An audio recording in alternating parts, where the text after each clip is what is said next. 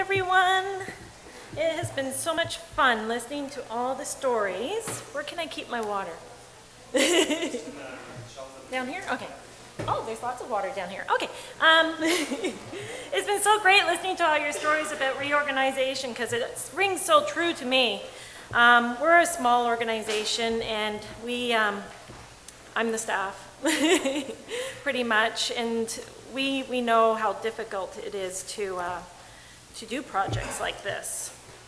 There's just not enough shelf space here. Um, I'll take that one. Mm, Thank you. okay, so I wrote it out because I'm chatty. If I don't write it out, then I'll keep you here for hours. Okay, so in partnership with the Historical Society Board of Directors and their committees, I manage the Fredericton Region Museum. Um, and with the care of uh, the collections, uh, wait, I'm going to start. I manage the Fredericton Region Museum. Um, we care for uh, collections. We, we, I, I look after storage, exhibits of objects, um, as well as I oversee the staff programs and outreach initiatives. What I'm saying there is, as the executive director, I do everything. I do everything from sweep them off the floors to collections management, accessioning objects, taking things in, uh, exhibit development, oversee staff, oversee volunteers. I am a catch-all for everything that happens in the museum. So the museum has a large collection, and I'm told it's one of the largest collections in the, um, in the province. We have probably, oh, 10 to 15,000 objects. I couldn't tell you exactly how much because frankly it's probably been 50 years since it's been inventoried thoroughly. Um, a lot of it is archival, which is measured by meters. So I would expect some of that in- includes that as well. So during most of the year, I work by myself. I have students during the summer, volunteers, and the occasional off-season contract, but most, most of the time, I'm pretty much it for about eight months of the year. Uh, managing, managing the collection is tricky with little staff, so I'm heavily reliant on volunteers who are looking for experience and training. Most of my volunteers are elderly. I get some student volunteers. In the wintertime, I don't have as many, as I will explain here in a minute. Today, I'm going, I'm here to talk to you about my experience with collection storage and museum health and safety, something I'm sure you all thought of. I'm very interested in preserving artifacts, but at the same time, I want to consider the health and safety of the people working in the collection. Museums are full of hazards. Some hazards are more obvious than others. So unless you have taken the time to identify and learn what they are or are shown, you would never know. I'm going to start by giving a little background information on how I found myself so deeply interested in health and safety. Okay. There's my building. That's where I live. I don't know why they just don't build a room on the side for me, because frankly, I spend more time here than I do at home. The building that houses a museum is a National Historic Building. It's big, stone, and beautiful. I'm very lucky. Every time I walk, this is my office, every time I walk to work every day, I just pinch myself because I cannot believe that I get to spend so much time in such a beautiful historic building. The collection is stored in a series of rooms on the third floor. So where you see the shutters closed is where the collection is. Um, and in part of the attic, that half of the attic right over there. So ladders getting up to the attic, mine's not much different. Um, the rooms have high ceilings, except the attic, uh, and narrow doors. I had a really tall summer student that had to duck every time he went through a door. Um, there are several challenges in our storage. The floors are uneven. Um, I know a thing or two about floors that do that. The attic stairs are steep, as Jean Mons and Jason and Greg can attest to. Uh, the building is uninsulated and unheated, so we don't have any insect problems. But we can't work in the collection during the winter months, which is why I have a drop-off in volunteers every winter. Um, once they feel the chill, they disappear. And sometimes they come back, sometimes they don't. So retraining is a con ongoing thing. The attic can get so warm in the summer that employees have suffered from heat stroke after working up there too long. I have had to treat my staff for heat stroke after working in the collections. And I have an air conditioner here. I had to fight, beg, and plead for the province to let me install it because the province owns the building. It's not, it's contrary to the heritage nature of our building, so they didn't want us to have it. I said, well, health and safety trumps heritage nature. I'm putting it in. they said, don't use any screws or anything. I'm like, that hole was already there. So, so every time I make a new hole in the building, it was already there. Our electrical is old, trippy in surgery. Keeping computer equipment in good working order takes care and planning. Um, technology comes here to die. Computer motherboards blow up in the middle of the night for no apparent reason. You can come to work and not, and three computers will be dead. That's not, that's happened.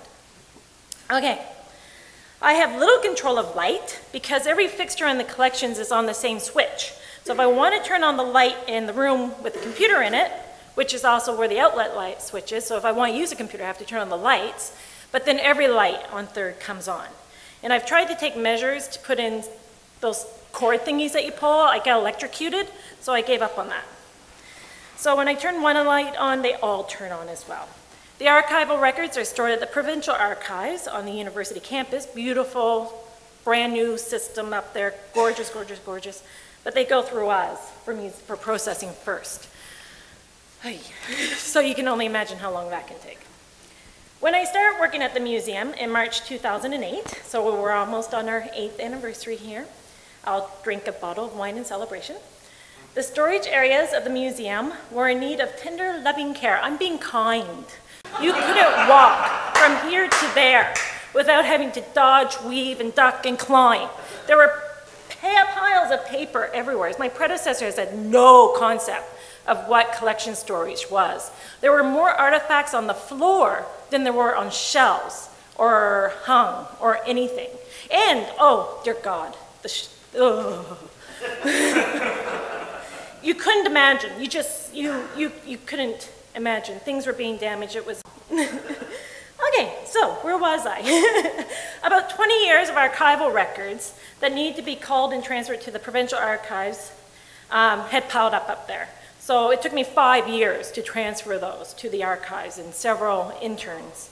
The old exhibits and uh, store fixtures that they had in the museum that no longer used were just dumped up there.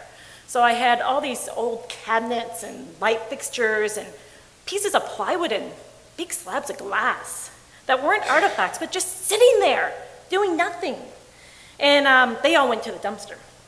Several things were being stored on that floor that didn't even belong to us we doing storing other people's stuff? We don't have room to store our own stuff. Why are we storing theirs as well? So, with a team of volunteers, we started to work organizing and straightening. But we got to work so fast and intensely that we didn't think about taking before pictures. So sorry. I have no before pictures for you. You'll just have to use my, my expressive language to imagine. If I had known that I was going to be here talking to you, I would have, but c'est la vie. We sorted, straightened, and removed anything that we knew we would never use and what did not belong to us. And we did this undercover because museum people are pack rats. Like, don't throw out that slab of chipped glass. I'm like, why not? Well, we might use it. I'm like, it's cutting me holding it. I don't think we'll ever use it. So off to the dumpster it goes, but in the cover of darkness, the night before the dumpster gets dumped so that they can't find it the next day. because I did have one volunteer insist we go in the dumpster and pull all the garbage out. And I'm like, no. If you want that done, you do it. I learned very quickly how to say no. So, for unknown reasons, our storage space was being used by other people. We had all this crap up there. We filled the dumpsters several times. I can't even begin to tell you how many times. We had a flood that year. We were in a floodplain, and I had no power because when you're in a floodplain, the first thing they take away from you is your power. Um, and so we had nothing else to do but fill the dumpster, so we did. And um, then we, we took our, we got rid of the stuff that didn't belong to us, we transferred the archive records up. That was about five years, so you can walk up there now and not hang your head in shame. After about a year of sorting and organizing, you can tell that progress had been made. We still had a lot to do, but it was a tremendous improvement. Most of the floors were cleared off, so we could start walking without worrying about tripping or stepping on artifacts. I could sweep and mop. it was such a thrill to be able to go up with a broom and to mop the floor. It was amazing. Shortly after my 2009 summer students left, I had a meeting with representatives from a granting agency and was asked to show them some of the work we had accomplished in our storage areas. Moments of pride. The evening before our tour, I wanted to finish moving a few things. I'm a little OCD. Something you'll learn about me. I'm OCD. Um, just a little.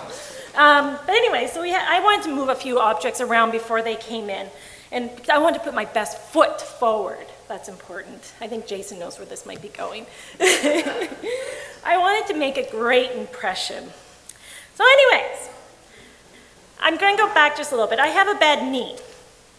Oh, where'd you come from? Oh yeah, that, that's, those shells are in the garbage. I help lug them down and throw them in myself. Anyways, I have a bad knee. I tore the cartilage in my right knee while putting my child in his car seat several years ago. I had learned to ignore the injury most of the time, and I developed strategies to prevent it from limiting my effectiveness. I, um, I don't have time to go to the doctor for these things. I just don't have time. My job's too busy. Um, one strategy that I've, I've learned is uh, to take my high heels off. I love my high heels. They're my best friend. Um, and when I carry heavy objects, uh, I do that in flat feet. It's easier. The cartilage doesn't flip up, it doesn't snap or anything. It's much less painful if I have flat feet. So that day, everybody had, I was all by myself. I went up to third floor. I slipped off my shoes and started to move some objects around. It was warm, so they were sandals. So I was barefoot. So I was carrying large, heavy objects from one room to the next. But what I didn't realize, that one of my summer students had broken some glass, not an artifact, some glass um, in one of the storage areas in a dark corner before leaving. And um, in his rush to get things done on his checklist, he had forgotten to sweep it up. He was funny that way. Great student, just loved him to pieces, but he could be forgetful on some things. But the glass was an obscure corner of the storage room, and you would never, you would never know it was there. Um, so in my rush to move things around, I stepped in it. And um, as much as I love my students, sometimes they, they're overwhelmed by the vastness of museum man, uh, collections management. And this, this summer student was no exception. He, he um, was so anxious to get things done that he didn't sweep it up. But he was a great student, but unfortunately, I found his glass with my bare foot. And I bled a nice bloody mess. So I grabbed a few Kleenexes and headed to my office on the first floor where I had a box of first aid supplies. Now, I hesitate to call it a first aid box. It was essentially a red toolbox with things in it. Things like band-aids and smelling salts and old wooden cotton swabs. So you can only imagine the last time that thing was stocked. I think they stopped making those in what, 1970s? so yeah, I cleaned up my foot and disinfected the cuts and the worst of it was under my big toe, and I wrapped it the best I could with the limited supplies I had. I really didn't think much about it. I mean, if I didn't think much about my knee, I certainly didn't think much about that, um, except to examine it and clean it each day until I thought it had healed. Now, my timeline might be off a little bit because this is something that happened in 2009, but I remember that no sooner did I think my toe was healed, it started to swell. Um, I started to treat it again, polysporin, everything I can think of, but it, it swelled a lot. and after a couple of days, my husband coerced me to go see a doctor. so, so I did. So he knows how much I, I, hate taking time away from work, but my toe was looking rather ugly at this point, and it did not look like it was going to heal without seeking medical attention. So I told my doctor and she, I, well, I, my story, and she immediately felt that I must have had a piece of glass lodged in my toe and ordered an x-ray. The problem with clear glass is that it doesn't show up easily on an x-ray, and my results didn't really tell us anything. They took like three x-rays of the thing, different angles, I couldn't see anything. My doctor gave me some antibiotic cream, and I started to follow her treatment. The toe was ugly enough, okay, it was so ugly that she asked me to visit her office every day so that she could examine the toe and wrap it herself. I didn't take a picture. You tried to get me to take a picture, but I didn't take a picture. it was too ugly. Anyways, so while this was happening, the Museum Association was hosting their annual conference. Luckily, it was in Fredericton, so I didn't have to miss it. So I would go to the doctor first thing in the morning, then head over to the conference uh, later on, which was great because I was presenting at that conference, so I really didn't want to miss it. The toes swelled a lot. It was a horror show. I had to borrow a pair of sneakers because I couldn't fit my wrapped toe in my cute little shoes. It was really a nightmare, not being able to wear high heels. Oh my God. Um, it did eventually start to heal and the swelling started to go down, but no sooner did my doctor think I had beaten the infection, the toe swelled again. It was like a little balloon, just popped right back up. This time it was a little different. It itched like nothing I had ever experienced before. Uh, not just the area with the wound, but the entire toe itched, and eventually the neighboring toe did too. So my doctor sent me to the emergency room where a foot specialist happened to be working that day. And he took one look at my swollen, itchy toe and showed me where he was planning on amputating if the infection did not improve immediately. He said that is the minimum that he would take off. He was thinking he might have to take off more if I didn't get grip on this infection because I had red striations shooting up the foot at this point. So, that just left a huge impression on me. He ordered another x-ray and changed the prescription for the second time, but again, the x-ray revealed nothing. And at this point, I was becoming very motivated to trying and figuring out what was going on. So that weekend, my toe became intolerable. It was swollen, red, itchy, and showed no improvement with this new medication, none whatsoever. My doctor wasn't working, so I decided that this deserved a trip to the after hours clinic, and I took my place in line. After several hours of waiting, the doctor examined the toe and listened to my story, and he decided to change the medication again.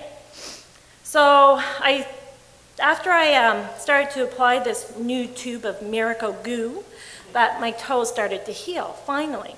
And it was a long, slow healing process, but I eventually returned to normal size and appearance, and yes, I could wear my high heels. So excited I could return those awful sneakers. All in all, it was about a month between stepping on the glass and the after hours clinic visit, so I went through this for about four weeks. And the toe itself took several more months to fully heal. Even up to a year or so after, I, I could still, it, it itched. And something solid did come out of it eventually, but it was awful. Awful! anyway, so this experience set me on a new path. Suddenly, health and safety became very important to me. It's always been uh, important, but this incident really made it a higher priority. So over the next several years, I researched and compiled a lot of notes on health and, um, for a health and safety program for our museum a program that would work for a small museum with minimal staffing and minimal funding. Um, and after consulting with my board of directors, I sat down and assembled a policy and training program for staff and volunteers. Altogether, I provided them with a 158-page review document plus several policies and documents for their consideration. They love me. My board is so hardworking. yes, so anyways, I made several recommend recommendations for the board to consider that would bring the museum in line with provincial laws surrounding health and safety in the workplace. Anyway, so my board was supportive and thrilled with my work, but I don't think they were overly excited about having to review the 158 pages I gave them, plus attached documents. But putting this document together made me aware of the laws in New Brunswick surrounding health and safety. These laws are easily overlooked in small volunteer-reliant institutions that for the most part of the year have one employee, but um, they are important nonetheless. Just because they only have one employee doesn't mean they're exempt from laws either. There are laws around that, and I know them now. So I was surprised to learn that employee, employers are required to provide health and safety training. Um, I was surprised because I had never received health and safety training for many, many years working at different jobs for different companies. I had never received any health and safety training from anybody, so I don't think it's just museums that, you know, or my institution that, that is not aware of all this. Um, most of my past work experience has been with larger companies that have the resources to provide the training, but they simply don't. And I discovered a lot of other things too. For instance, workplaces with five employees or more are required to have a health and safety policy. Most of the year I'm by myself, or I might have one other person working with me, but apparently we're not exempt from this law. And during the summer, I usually have five summer students.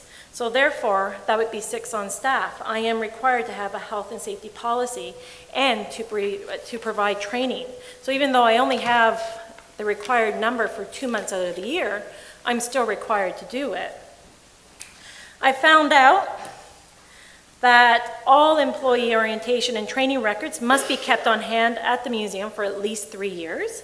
So not only are you train them, you have to document that training and you have to keep that record for three years. Orientation documents are to be kept in the personnel files along with training records. Apparently, WorkSafe New Brunswick's health and safety officers have the right to ask for and review employee orientation and training records at any time. So if something happens and they wanted to confirm that this employee had been trained, they can walk in my door anytime and ask for this documentation. So I had no idea. I also learned the requirements for first aid kits, which are near and dear to my heart. Uh, we now have a fully stocked first aid kit on each floor of the museum. That way if I cut my toe on third, I don't have to run down to first um, to treat the injury. Each kit has an inventory checklist and a use log to ensure we know if anything needs to be replenished. We also have safety gear for working with hazardous materials, wet floor signs, safe ladders, emergency exit maps, nitrile gloves in various sizes, a lab coat, all that stuff. We didn't have any of that stuff before I started. I mean, we had ladders, but they weren't great. Apparently, for businesses with more than one employee but less than 19, you must have at least one first aid provider with valid training. That would be me. I took a course because, because once I have a contract employee during off season or a student during the summer, I'm required to have a trained first aider. And I can't depend on the students or contract employees having that, so the only consistent person there is me, so it made sense for me to go get the training. Um, your first aider's credentials must be posted. We came up with a few ways to identify our first aiders in our museum, but um, you have to post those credentials somewhere where everybody can see it. For businesses with 5 to 19 employees, a health and safety representative must be named and their name and position posted, and that would be me again, because I'm the only consistent person down there.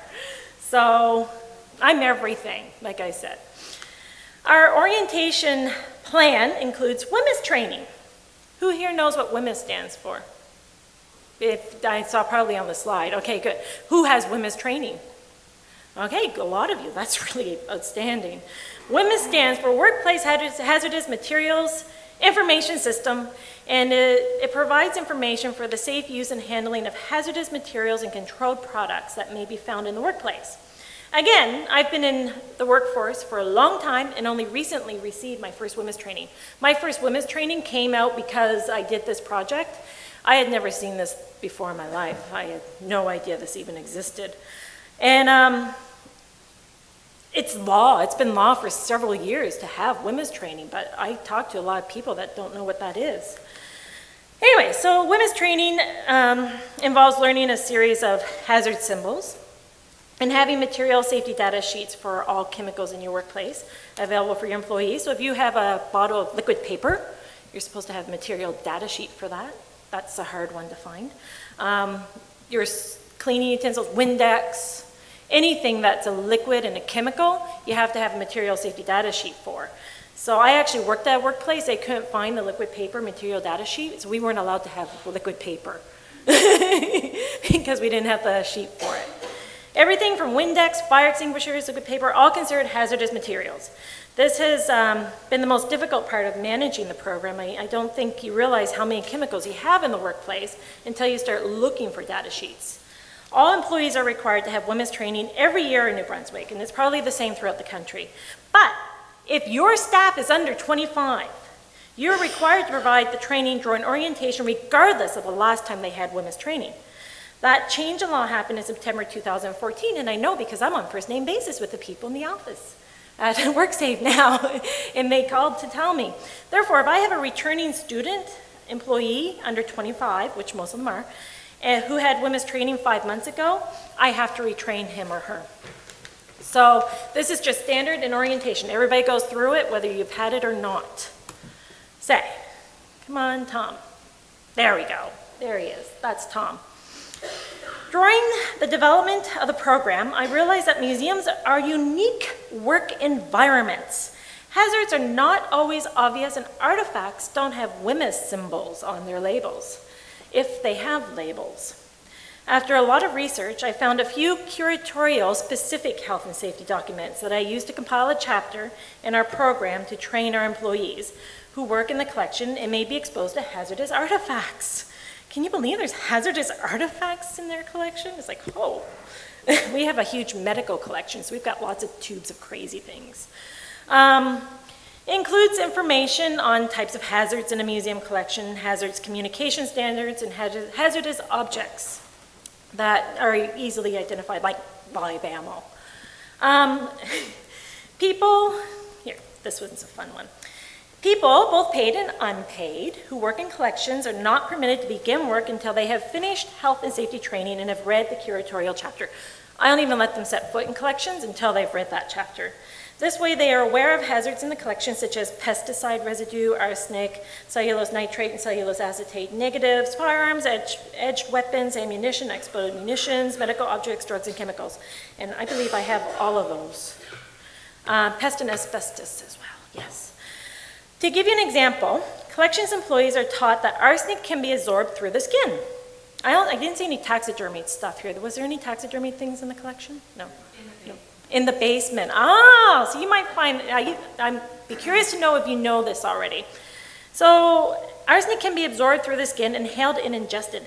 Exposure to it may lead to chronic disorders, and it's a known carcinogen. When working with contaminated or suspected contaminated collections, such as birds and mammal specimens, my staff is not allowed to touch the specimen with their bare skin. They have to wear nitrile gloves, a lab coat, and a dust mask. Employees and volunteers are instructed to assume that all pre-1970 taxidermied and insect specimens have arsenic. So if any of them are pre-1970, which they probably are given the nature of your collection, I would recommend you suit up before you touch them. Um, come on, there we go.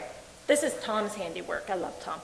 Um, he's gone now, though. He's a summer student that went off to Montreal. When hazards are identified, my staff is instructed to label the hazard to the best of their ability. The label should identify the hazard and include the first aid procedures if there is exposure.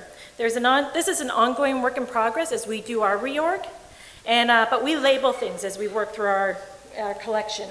So these, does anybody know what these are? Yes. Fire extinguishers that could kill you if you break one. if you break one, run! don't come back.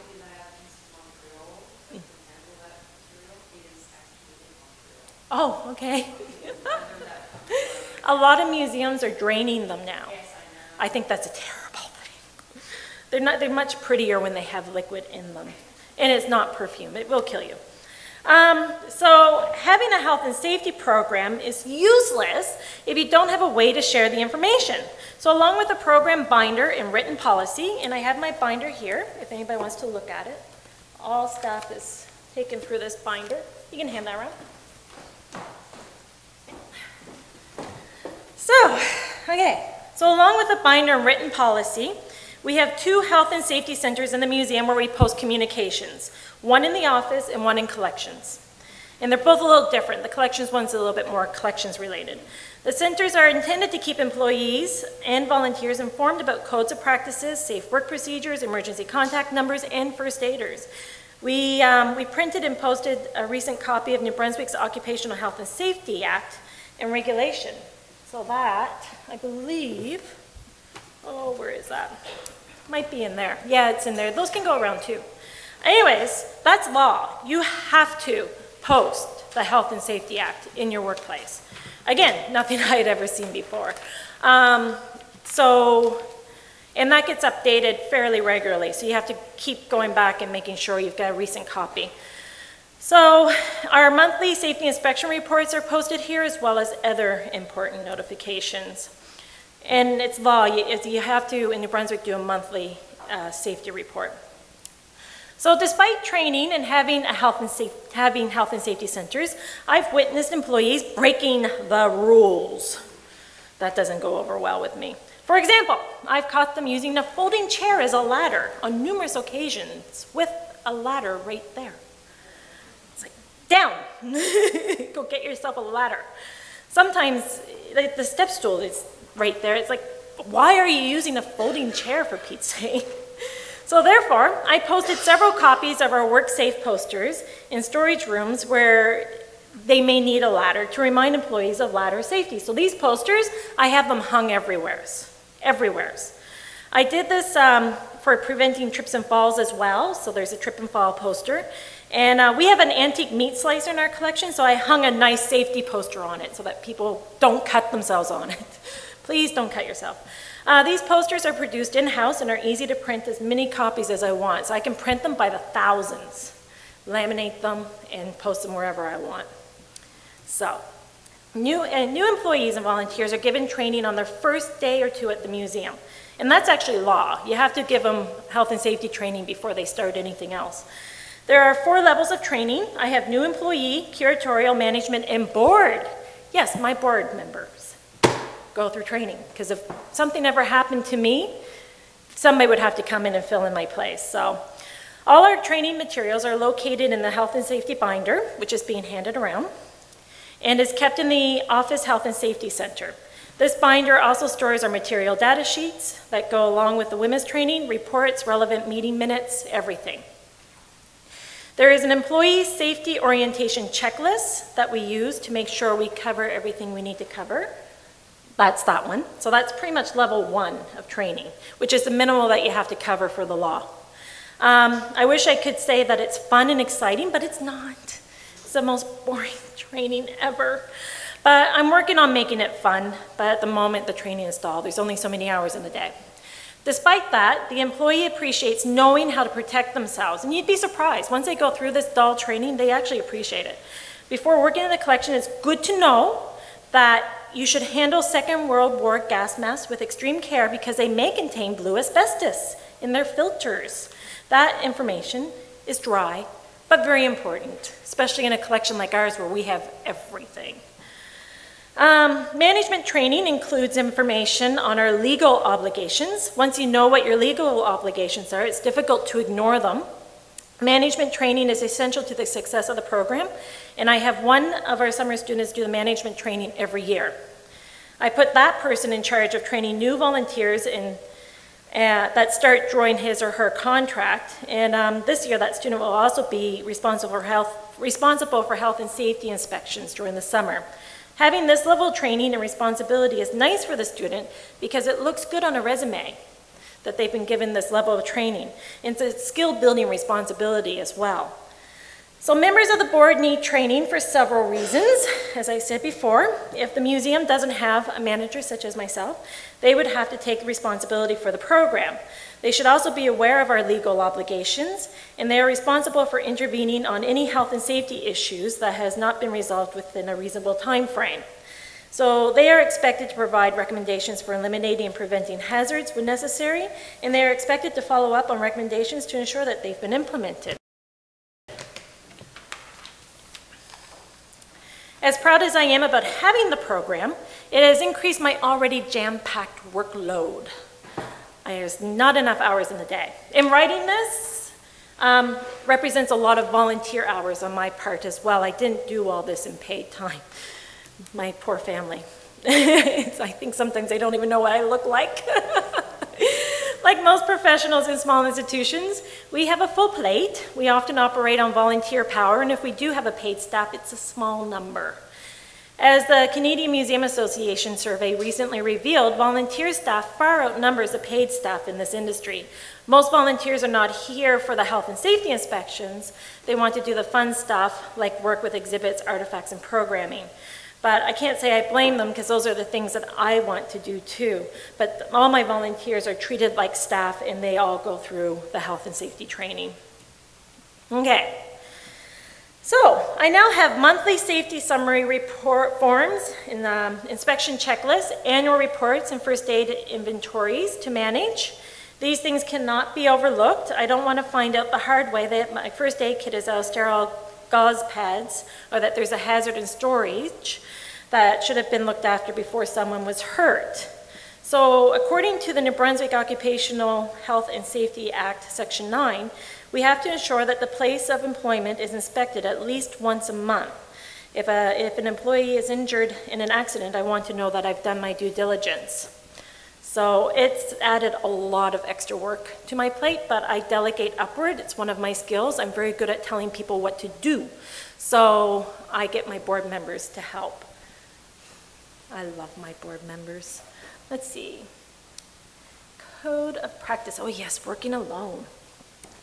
So, speaking of due diligence, working alone in my museum can be a little unnerving. Not because a building is big, old, and possibly haunted, I'm told it's haunted, but I've never experienced anything like that. But because we have several questionable characters that hang out in our downtown area, like the friendly neighborhood drug dealer. Yes, I'm used to it and don't think much about it. They're just people I pass on my way to and from work every day. But under Regulation 92 133 of the New Brunswick Occupation Health and Safety Act, I am required to establish a code of practice to ensure, as far as, I'm possible, as, far, as far as possible, the health and safety of an employee who works alone. So it must include the risks associated with working alone and the procedures to be followed in order to minimize the risks associated with working alone. And that's one thing in the museum industry. We spend a lot of time alone. And um, apparently, I had no idea there's laws around that. So I discovered that some employees really don't like to work by themselves for safety reasons. However, by having a code of practice, which is what this is here, as part of their training, it helps them become comfortable and gives them the tools they need to look after themselves in case the need arises. So I noticed a difference in my staff when I came out with this, that some people who were previously nervous about working alone weren't as nervous anymore because they had the training to, um, to look after themselves in that work situation. Um, it took several years to do this research because I'm busy running a museum at the same time. And to make it more interesting, there were changes in the law that I had to incorporate at the very last minute before taking it to my board. But once I had the research, I had to type it into a comprehensible document, which is being handed around. In 2014, my board told me to take the time during the summer and focus on typing uh, the summer, the summer is a good time because I have students capable of the day-to-day operations of the museum, so it gives me an opportunity to disappear in a dark little corner of the museum and focus. Then, as I said before, at, my, at first my board regretted encouraging me to write this once I was done, because I gave them a huge document to review, 158 pages, filled with workflows, procedures, and forms, plus supporting policies. It took them a few months to go through it, they were made aware of all the things that the museum was missing, and they appreciated the work that went into the document. So when we worked to implement the program, I delegated the initial implementation to a summer student. She created our communication centers, posted emergency numbers, and did the initial checklist. We had our first, our first aid kits were donated. A little trick of the trade, find out which stores are going out of business. first aid kits, things like that, they usually just get trashed. I got so many first aid kits from them, and mannequins and stretchers and lots of fun stuff. Anyway, so our first aid kits were donated. Um, it sounds mean, but it isn't. And installed in permanent locations so that we always know where to look for supplies. We are still fine tuning things, but we're almost there. Um, maybe stepping on the glass wasn't the, all terrible. Having the foot doctor show me where he was going to cut off my toe was traumatic. It still bothers me to think about it, but ultimately it provided the motivation to take steps to never let it happen again. For starters, I, um, I keep flat shoes behind my desk for those moments when I need to take my heels off. They don't match every outfit.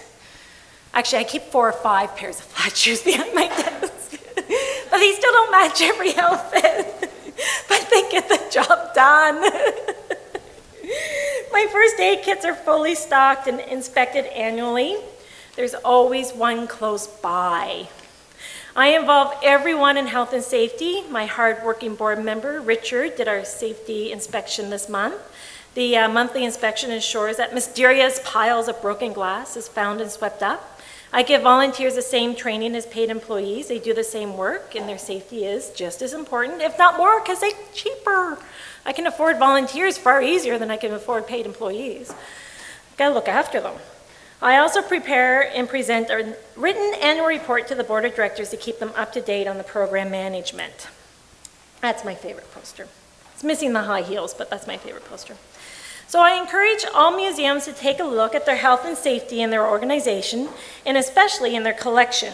You don't want an employee or volunteer to discover the hard way that the fire extinguisher grenades are deadly, or that the taxidermied elk that they are letting kids touch on a tour is preserved with arsenic. There's a museum in New Brunswick, I can go up and touch a dozen taxidermy pieces. It scares me. Don't lick the taxidermy. Um, there are resources that you can use to develop a policy and a program on the internet. That's where I get my information. Provincial health and safety websites have a lot of great information. I called the New Brunswick Health and Safety Department numerous times while doing the research, and they were happy to help me. And I mean, like I said, by the time it was done, we were on first name basis. If you expect employees and volunteers to work safely, you need to give them the training and tools they need to do it. Never take safety for granted. Make them aware of the hazards, supervise them, be a good example. Yes, be a good example. Um, make sure that they have the equipment they need. And the extra time that you take to develop and implement a program is time well spent. There. Any questions?